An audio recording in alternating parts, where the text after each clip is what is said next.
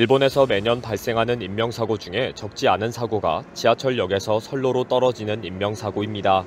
2019년 통계에서는 지하철역에서 선로 추락 사고는 전국에서 3,047건이고 그 중에 160건이 인명사고로 이어졌습니다. 매년 4,000명 가량이 선로에 떨어지고 200명 가량이 사망하는 상황입니다. 4,000명이면 하루에 최소 10명 이상이 선로에 매일 떨어진다는 엄청난 통계입니다. 후지뉴스는 19일 일본의 지하철역에는 왜 스크린 도어가 없는가 홈 도어 설치의 높은 벽이라는 제목의 기사를 보도했습니다. 지하철역에서 인명사고가 계속 발생하고 있다. 스크린 도어가 있었다면 모두 막을 수가 있는 사고였다. 도대체 왜 일본에서는 도어 설치가 어려운지 알아보았다. 라는 내용입니다. 최근에는 지난 1월 15일 나고야시의 한 지하철역에서 고령의 남성이 선로에 추락해서 목숨을 잃는 사고가 발생했습니다. 나고야를 통과하는 전철 역사 중에는 역사가 적은 나고야 시형 지하철역에는 79.8% 설치율이지만 나머지 지하철 역사는 거의 설치가 되어 있지 않습니다. 이번에도 또 인명사고가 발생하면서 나고야시는 현재 설치를 준비 중이다. 미안하다. 라는 입장을 밝혔습니다. 일본인들은 수십 년 동안 검토하고 조사하고 준비 중이다. 라는 것에 분노를 하고 있습니다. 2026년 아시안게임이 아이치현과 나고야에서 열리기 때문에 이번에는 반드시 최대한 빨리 설치하겠다. 믿어봐라. 라고 설명했습니다. 나고야 시민들도 아시안게임 한다고 외국에서 손님이 많이 올 테니 당연히 시설 설치를 서두르겠네. 다행이다. 라는 반응을 보이고 있습니다. 일본에 이미 설치되어 있는 홈도어는 스크린 도어 스타일은 아닙니다. 그래서 일본에서는 스크린 도어라는 표현을 전혀 사용하지 않습니다. 실제 스크린 도어 스타일이 아니고 대부분 홈 도어라고 부를 정도의 스타일입니다. 그나마 일본에 많이 설치되어 있는 것은 세 개의 봉이 위로 올라가는 것과 높이가 낮은 문짝이 옆으로 열리는 형태 두 가지입니다. 한국처럼 전면 스크린 도어를 설치하기에는 비용도 많이 들고 설치 공간이 부족하다는 등의 이유 때문입니다. 머리 위로 올라가는 것은 머리로 떨어질지 몰라서 조금은 위험해 보이기는 합니다. 그리고 양 옆으로 벌어지는 것도 문짝 형태도 있지만 봉으로 열리고 닫히는 형태가 많습니다. 전면 스크린 도어는 비용이나 설치 여건이 어렵기 때문에 일단 떨어지지 않는 정도로 가슴 높이로 설치하고 있습니다. 그동안 일본에서는 전철역에 스크린 도어 설치 문제가 제기될 때마다 한국에서는 전역 설치, 일본의 철도 홈 도어 사정이라는 제목의 취재 기사가 쏟아졌습니다. 사고가 발생하거나 문제를 지적하는 영상에는 한국은 전체 스크린 도어이다 라는 댓글도 올라오면서 일본의 상황을 비판하는 댓글이 많습니다. 일본에서 전철역의 홈 도어 설치 문제는 2001년까지는 제대로 된 논의도 전혀 진행되지 않았습니다. 갑자기 2001년에 홈 도어 설치에 대한 논의가 급속하게 진행이 되는 사건이 발생합니다. 2001년 1월에 신오쿠보역에서 선로에 떨어진 일본 남자를 구조하려다가 일본인 남성과 한국인 이수연 씨가 사망하는 사건이 발생합니다.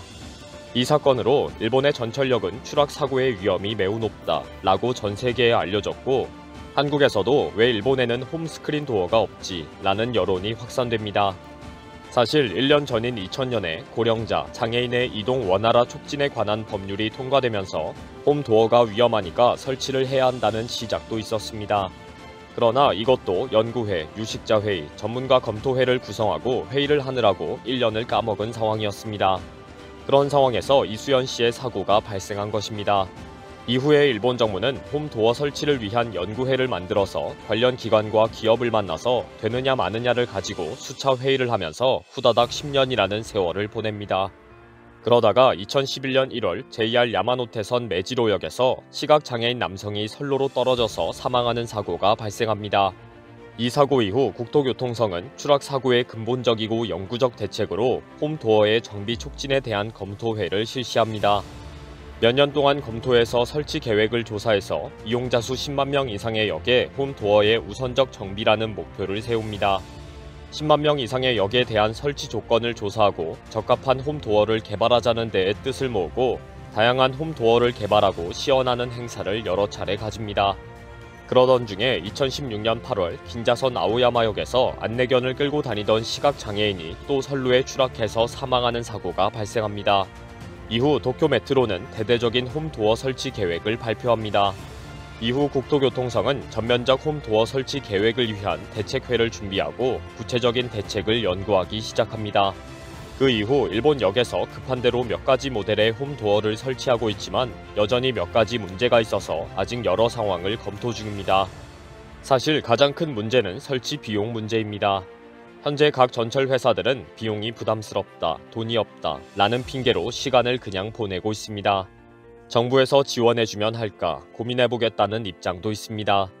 결국 지난해 JR 동일보는 홈도어의 설치 비용 등에 충당하기 위해서 전철 요금을 10엔씩 인상하겠다고 발표했습니다. 2035년까지 4,200억엔 이상 소요될 상황이기 때문에 3월 1일부터 어쩔 수 없이 인상한다고 미리 발표한 것입니다. 다음은 객차의 종류가 다 달라서 열리는 문이 서로 다른 경우가 많기 때문입니다. 그 외에도 기존 역사의 설계에 심각한 문제가 있어서 쉽지 않다는 이유도 있습니다. 결국 최근 오사카에 설치하려는 스크린 도어는 차량의 문 위치에 상관없이 열리는 홈 위치를 자유자재로 바꿀 수 있는 것입니다. 문의 수나 위치가 각각 다른 철도 차량에 모두 대응할 수 있다고 대대적으로 자랑한 것입니다. 이 도어가 설치되는 곳은 오사카역 북쪽에 새로 신설된 재개발 지역의 역사 우메키타 오사카 지하역입니다. 지난해부터 최신 기술의 미래역이라며 전면 도어 스크린 시설을 설치할 것이라고 자랑해왔습니다. 그러나 지난 2월 13일 가개통한 우메키타 지하역에는 아직 스크린 도어 공사가 전혀 진행되지 않은 것이 확인되었습니다. 정식 개통은 3월 말로 예정되어 있는데 반도체 부족으로 건설이 어렵다고 알려지고 있습니다. 대대적으로 일본에도 전면 스크린 도어가 있다고 자랑해왔는데 이마저도 상황이 여의치 않은 것입니다. 최근 JR 동일보는 홈도어 설치 계획을 일부 변경한다고 발표했습니다. 지난해 진행하지 못한 정비가 너무 많아서 다시 일정을 변경하고 새롭게 발표한 것입니다. 그 이유는 또 반도체 부족이라고 밝혔습니다. 세계적인 반도체 부족의 영향으로 홈도어 설치 및 정비에 관한 부품 조달에 심각한 문제가 발생했다는 것입니다. 최대한 부품을 조달해서 2023년에는 2022년 분까지 작업을 하겠다고 했습니다. JR 동일보는 2031년까지 수도권 330개역 758개의 스크린 도어를 설치하겠다고 목표를 새로 밝혔습니다. 물론 중간에 회의 몇 번 더하고 반도체 부족 등의 문제가 생기면 2040년까지 갈 수도 있습니다. 그동안 일본은 검토회, 유식자 회의 등을 하다가 세워라 내워라 시간을 보낸 적이 많기 때문입니다. 야후 재팬에 묻고 답하는 메뉴에는 한국은 전체 역이 전면 스크린 도어이다. 일본은 왜 설치하지 못하는가? 라는 질문이 상당히 많습니다. 대답에는 일본은 개발도상국이다. 라는 자학적인 답변이 의외로 많습니다. 일본은 이미 제대로 된 회의와 결론을 내릴 수 없는 국가와 사회 시스템이 문제입니다. 어차피 거대 지진이 나면 끝장이라는 자포자기가 깔려있나 봅니다.